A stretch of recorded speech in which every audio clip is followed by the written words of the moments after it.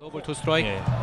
오! 자, 잘 맞았는데요. 자, 우측에 크게 뻗는 타구입니다. 네, 우측 넘어갔어요. 담장 엄청납니다. 넘어갔습니다. 이성열의 솔로 홈런 4대 1로 추격하는 넥센 시즌 여섯 번째 홈런을 신고하는 이성열입니다. 자, 과연 올해 이성열 선수가 몇 개의 홈런을 칠지는 이제 지켜봐야 되겠지만 뭔가 새로운 스타를 요구하는 국내 예. 프로야구에 이성열 선수가 정말 대단한 역할을 해주고 있습니다. 맞는 순간 홈런임을 알 수 있는 큰 타구가 나왔습니다. 예.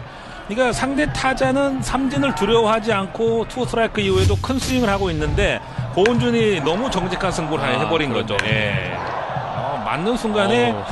뭐내 롯데 외야수들은 그냥 뒤 돌아서서 담장만 쳐다봤습니다.